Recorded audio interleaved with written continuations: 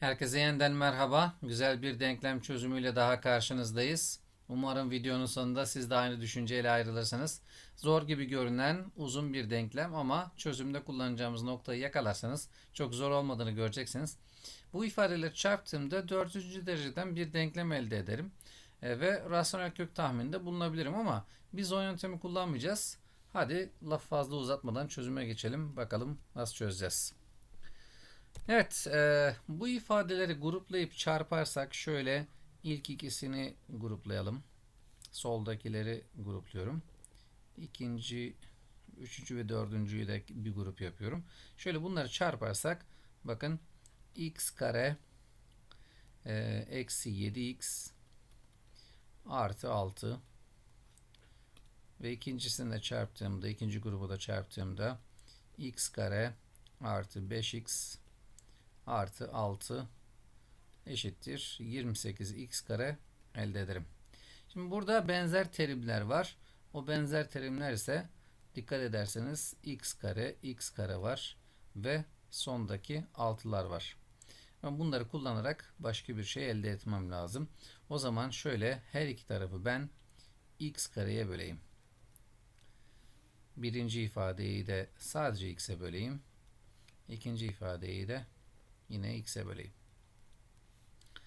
Eğer bu işlemi yaparsam bu işlemi nasıl bu kadar rahatlıkla yapabiliyorum? Çünkü burada x sıfır değil. Şöyle yerine koyarsanız sıfır olmadığını göreceğiz. x eşit değildir sıfır. Evet buna göre bu işlemi yapabiliriz.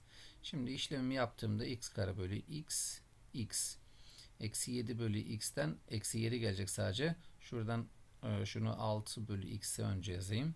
6 bölü x ve eksi 7.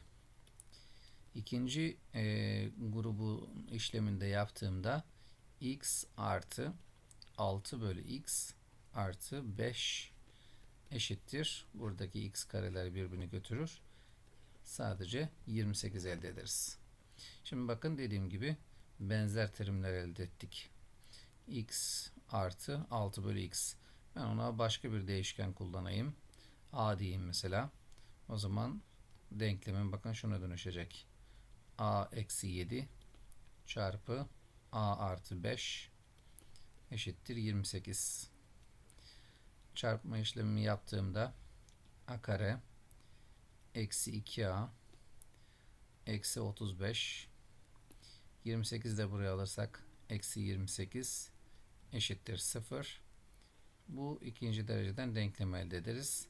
a kare eksi 2a eksi 63 eşittir 0. Buradaki çarpanlar hemen direkt artık yapıyorum. Eksi 9'a 7 yani bu durumda A1 eşittir 9 A2 eşittir eksi 7 olacaktır. Şöyle veya işaretini de koyalım buraya. Şu ikinci kısımdan devam edeyim. Eğer A 9 ise yani x artı 6 bölü x 9 ise x artı 6 bölü x eşittir 9 ise x nedir bunu bulacağız. Veya x artı 6 bölü x eşittir eksi 7 ise x nedir bunları bulacağız. Her iki tarafı x ile çarpabilirim. x'in 0 olmadığını söylemiştim.